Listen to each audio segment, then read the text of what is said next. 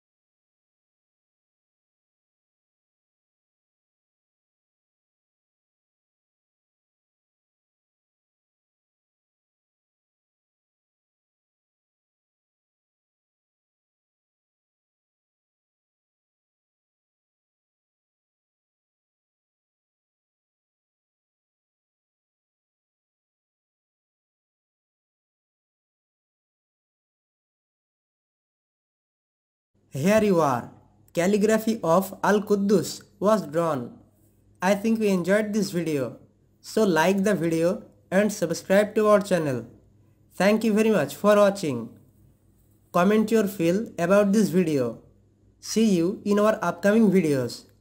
Assalamu alaikum.